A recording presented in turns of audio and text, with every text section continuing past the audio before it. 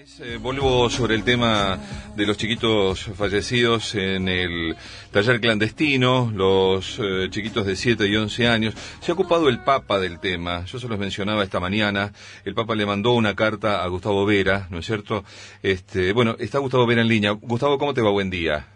Hola, buen día, ¿cómo estás? Bien, ¿qué te dice el Papa sobre eh, la tragedia de los dos chiquitos en el taller clandestino? Bueno, la carta fue una carta para ser leída en una ceremonia interreligiosa que se realizó en la esquina de, del taller este el jueves pasado. Y básicamente lo que expresa, bueno, su, su profundo dolor de que, de que cosas sigan ocurriendo y que son fruto de las injusticias. Y bueno, eh, llama a orar y llama por, por los chicos, a los que llaman por su nombre, Orlando Rodrigo, y a redoblar los esfuerzos para tratar de evitar que esto vuelva a ocurrir, ¿no? Orlando Rodrigo, sí, eh, creo que vi la carta por ahí, dice el apellido, eh, o sea que los tiene... Orlando Rodrigo Camacho, sí. ¿Orlando y? Rodrigo Camacho. Exacto. ¿Los papás están en el país todavía? Eh, tengo entendido que los papás todavía se están atendiendo en el hospital. ¿Por qué? No entiendo. Estaban muy graves con el tema de, lo, de, la intoxicación que habían ah. sufrido por inhalación de monóxido de carbono. ¿Eran dos chiquitos que tenían nada más esa familia o tenía más hijos? No, no, no, tenían los abuelos y... No, digo, como hijos, como hijos, digo, ¿eran solamente esos dos hermanitos? Entiendo que sí, entiendo ah, que sí. Bueno, ¿se logró encontrar el dinero para, para enterrarlos? Eh, aparentemente sí. No hubo mucho contacto con ellos, prácticamente no hubo contacto porque inmediatamente después de que fue el incendio un sector que, que sobrevivió de alguna manera o salió ileso del incendio, eh, se refugiaron en un taller clandestino que estaba en la otra esquina, eh, a la altura de PAE 2011, y otros sectores estaban en el hospital. Así que, y aparte, eh, ya sabemos por experiencia que en general cuando ocurren estas cosas se redoblan las medidas para que nadie abra la boca, ¿no? Este, y nadie diga nada. Acordate que cuando fue el incendio de Luis Viale, a la otra mañana no tenías absolutamente ninguno de los 60 costureros que trabajaban ahí. Está bien. Bueno, este, hubo declaraciones finalmente, eh, hizo declaraciones el viernes, este, Macri, no sé si has tenido oportunidad de leerlas. Algo, sí. Bueno, este, pasaron cinco días, él lo último que había hablado, este, eh, públicamente. Bueno, entre semana creo que habló, pero había hablado justo el día en que estaba ocurriendo la tragedia, a las 10 de la mañana del lunes. Y cinco días después, de, dije, dice, sistemáticamente recibimos denuncias que atendemos como nunca se atendieron antes. El año pasado hicimos 6.000 inspecciones, una cifra impensada, inimaginable. Eh, bueno, y eh, yo en eso, cuando leí esto me acordé de, de, la denuncia de ustedes, en el sentido de que este, se hacen las denuncias y no pasa nada. Este, ¿Quién miente, la Alameda o Macri? A ver, yo me iba por los hechos concretos. El poder de policía para aplicar la ley de trabajo a domicilio, la 12.713, lo tiene el gobierno de la ciudad. Eh, el procedimiento es muy simple. Vas a tocarse timbre, si no te abren, pedís al jugado de turno de allanamiento. Para eso tenés ese poder de policía que te lo transfirieron en el 2008 por ley. Justamente después de que ocurrió la tragedia de. Eh, Floresta está plagado, talleres clandestinos, tenés por lo menos 4 o 5 por cuadra, cualquier vecino te lo puede mostrar con el dedo de una mano sin ningún tipo de inconveniente. Mm. Los talleres han crecido un montón. Eh, si hay una inmigración este, descontrolada, bueno, yo recuerdo al señor Macri que hizo una conferencia de prensa en la época del indoamericano, junto al señor Alfredo Ayala, que está acusado por ser el principal traficante de bolivianos para talleres clandestinos. Alfredo Ayala es el que rodeó la Alameda con dueño de talleres clandestinos en el 2006 para incendiarla, fue el que nos hizo una emboscada en el 2009 y me rompió la cabeza con 13 puntos y una causa penal abierta. Hay un montón de investigaciones que demuestran que el señor se dedica concretamente al tráfico de personas y a defender en patote y en red, digamos, estos talleres, y aparece al lado del señor Macri dando una conferencia de prensa en la época del indoamericano. ¿Cómo, cómo, cómo? ¿Cómo? Aparece con el señor Mauricio Macri dando una conferencia de prensa cuando se dio el conflicto indoamericano, mm. sigue haciéndolo pasar como un ciudadano pacífico y cordial. ¿Entiendes? O sea que, en todo caso, si hubiera una inmigración descontrolada, este, los sectores que evidentemente no vienen a trabajar, y bueno, les recuerdo que están al lado del señor Macri, no al lado de este eh, gente que supuestamente no conoce. ¿Y qué relación tiene con Macri? ¿Alfredo Ayala? Bueno, hay que preguntárselo porque no tuvo una conferencia de prensa al lado de él hablando con él. Mm. como representante de la colectividad boliviana, representante. Ya para esa época tenía varias causas penales, había salido en varias diarios, varias investigaciones y está sindicado como el principal traficante de bolivianos en Argentina. Está bien. Bueno, cuando dice Macri que es complejo el tema de, los talleres, dice, usa esta expresión, digamos, tan, tan nada, porque la expresión es complejo, es nada. Es complejo, dice, porque finalmente en la desesperación la gente se agarra de estos trabajos y encima se enoja cuando uno va y los clausura. A ver, esto es muy simple.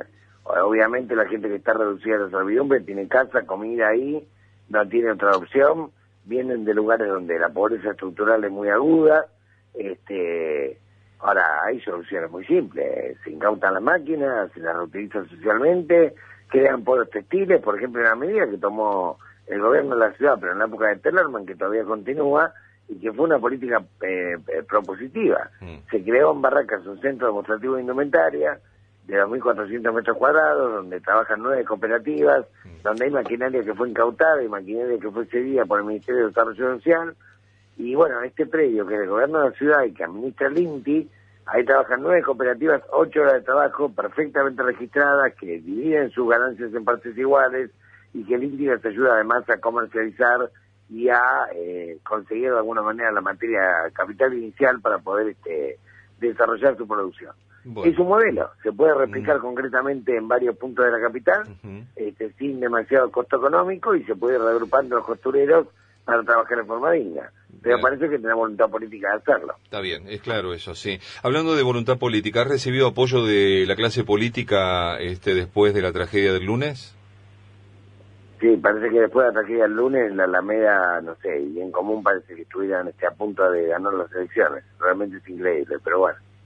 ¿Qué significa eso? Mi, no, opinión. No te entiendo. No, digo, millares, millares de mensajes, digamos, este, de todo ah, tipo, ah, ah. alabando la, la, mm la, el coraje, alabando el esfuerzo, alabando el sacrificio, etcétera, pero lo cierto que nuestro resultado concretamente el día anterior fue absolutamente marginal, absolutamente marginal, y ya para esa época luchamos contra los talleres, Castillo, Tius, en fin, y todas las lacras mafiosas, digamos, que en este país. Mm. Este, bueno, probablemente quiso la historia de que al otro día de manera dramática se mostrara un poco mm. el, lo que queremos evitar justamente contra lo que estamos luchando. Gustavo, decime, eh, ¿ha habido progresos en la, en la investigación, en la denuncia penal? ¿Ha pasado algo en esta semana? Eh, hubo un allanamiento que hizo Canicoba Corral al taller donde estaban los sobrevivientes del incendio, el de PAE 2011 eh, pero aparentemente no hubo mayores resultados, era un allanamiento que estaba, según tengo entendido por los vecinos, este avisado porque ese día hubo movimiento de máquinas, este, de materiales, la noche anterior. Este, de cualquier manera todavía no, no, no tenemos mayor información de la causa Canicova. Y en lo que respecta al, digamos, a la carácter de investigación que se llevaba adelante en la Protex, este, todavía no se han allanado, no se han inspeccionado los talleres que estaban denunciados desde septiembre del año pasado. Me llama la atención que me dijiste de pasar, este, hicieron los allanamientos, este, pero parece que alguien les avisó. La policía. La comisaría 50 que se dedica a recaudar en la zona. No la comisaría 50 como un todo, porque hay muchos policías de base que son absolutamente honestos. Jefe de brigada para arriba, jefe de brigada, subcomisario y comisario y te lo digo claramente, ninguno de esos cuatro está a salvo de situaciones de cohecho sistémicas en esa zona. ¿Vos decís que la comisaría 50 o esas personas que acaba de mencionar... La jefatura de la comisaría 50 es absolutamente colmera. Está bien, No me cabe la menor duda. Pero en el allanamiento de Canicova Corral, que ¿fueron ellos los que le avisaron? Y se van entregando. Cuando va a haber un allanamiento, este, se ventila desde Comodoro Pi, llega a la comisaría, la comisaría avisa a los muchachos y los muchachos lo trasladan y preparan todo y lo maquillan como para que después no haya resultados positivos. Es un clásico.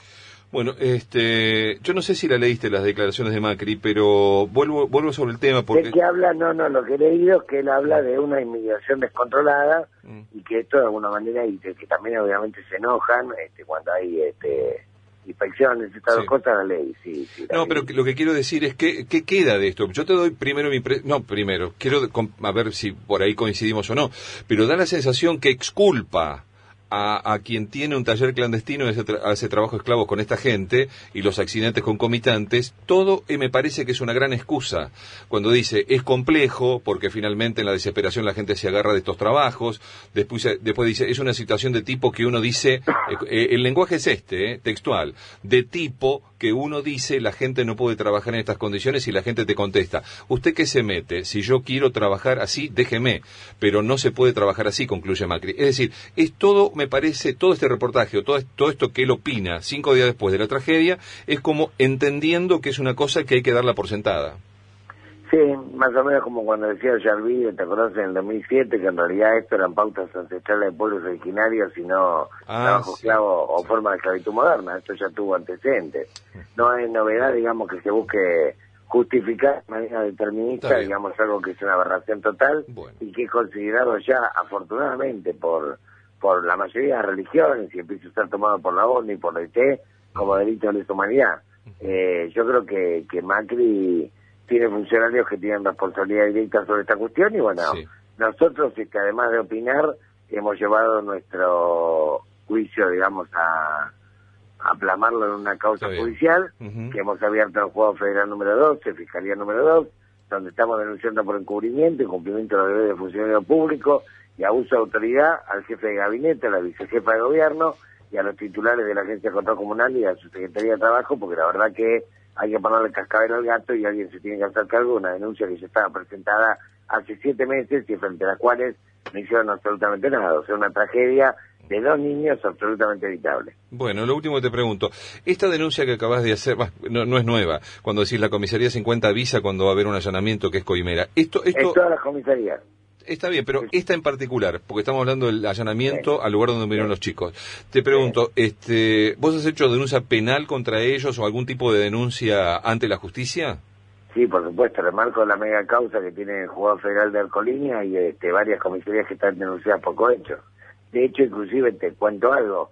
Desde el año 2005, eh, una parte de la mega causa tuvo condena ya el 30 de diciembre del 2003 y otra parte sigue abierta. Ahí hay denunciadas más de 100 marcas eh, cientos y cientos talleres clandestinos, pero por ejemplo, en el barrio de La Alameda, que pertenece a la jurisdicción de la comisaría 40, producto de los atentados que habíamos tenido años atrás, eh, la justicia dispuso una custodia. Esa custodia no la puede hacer la comisaría 40, por ejemplo, porque está acusada de cohecho, entre otras. Bueno, sí, okay. Bueno, gracias Gustavo, muy amable por ahora. ¿eh? No, por favor, gracias. Hasta luego. Buen día. Hasta luego. Ahí estaba Gustavo Vera, señores titulares de la Alameda.